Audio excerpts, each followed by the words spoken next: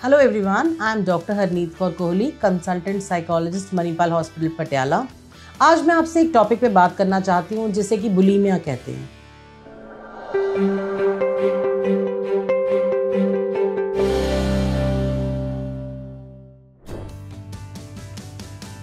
Bulimia का दूसरा नाम है बुलीमिया नर्वोसा ये एक बहुत ही सिवियर ईटिंग डिसऑर्डर है। More than one million people in India are suffering from this disorder per year.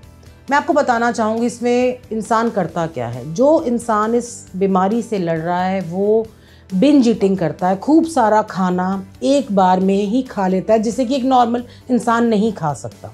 उस खाने को खाने के बाद वो उसको पर्ज करता है मतलब वॉमिट आउट करता है, ताकि उसका वेट गेन ना हो सके। अगर आप देखेंगे, इस बीमारी से लड़ते हुए लोग अक्सर नॉर्मल वेट के होते हैं, वो अबीज नहीं होते। बुलीमिया दो प्रकार के होते हैं purging bulimia and non purging bulimia अब पर्जिंग बुलीमिया में क्या होता है? जब इंसान खाना खाता है मतलब बिंज ईटिंग करता है तो उसको निकालने का उसका तरीका वॉमिट होता है, जैसे कि पर्जिंग कहा जाता है।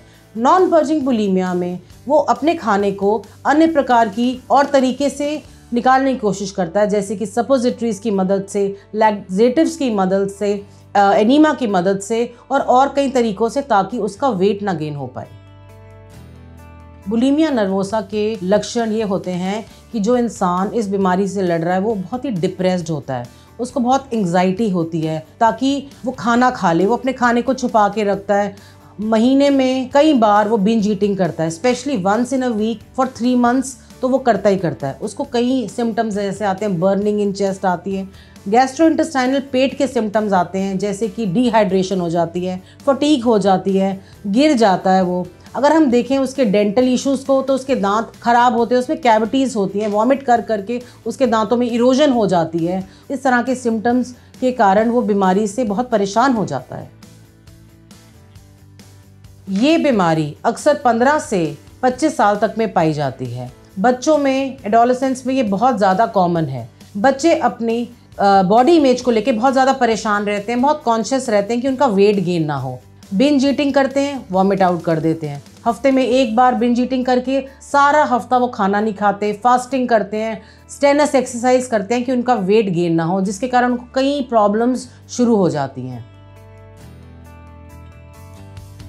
बुलीमिया नर्वोसा का डायग्नोसिस ऐसे होता है कि जब आपके पास कोई मरीज़ आता है और वो बताता है कि वो बहुत ज़्यादा परेशान है बिंज ईटिंग से, और वो ये हैबिट्स हैं उसकी जिसके कारण वो खाना बाहर निकाल देता है, उसके दांतों में प्रॉब्लम आ रही है, उसके पेट में दर्द रह रही है, उसको एंग्जाइटी हो रही है तो हमें पता चलता है क्वेश्चंस पूछने पर, उसकी साइकोलॉजिकल इवेल्युएशन करने पर कि वो इस बीमारी से लड़ रहा है, क्योंकि वो तीन महीने से ज़्यादा इस हैबिट में उलझा होता है। साइकोलॉजिस्ट की मदद से आप अपने बच्चे के लिए कुछ गोल सेट कर सकते हैं।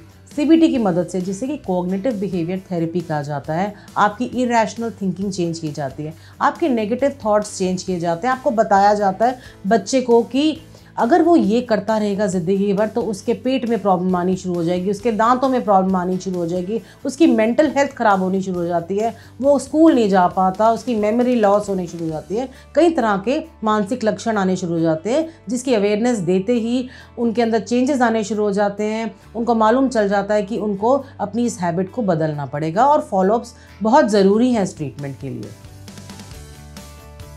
इस प्रॉब्लम को अगर हम देखा जाए तो ट्रीटेबल है, बिल्कुल। अगर आप टाइम पे अपने बच्चे को डॉक्टर के पास ले आएँ तो इसका इलाज हो सकता है with the help of therapies CBT से साइकोथेरेपी से ग्रुप थेरेपी से इंडिविजुअल थेरेपी से सपोर्ट ग्रुप से बच्चा इस बीमारी से बाहर आ सकता है, बिल्कुल। और अगर आपको लगता है ये बीमारी ठीक नहीं हो रही तो थोड़ी सी मेडिकेशंस की भी ज़रूरत पड़ सकती है।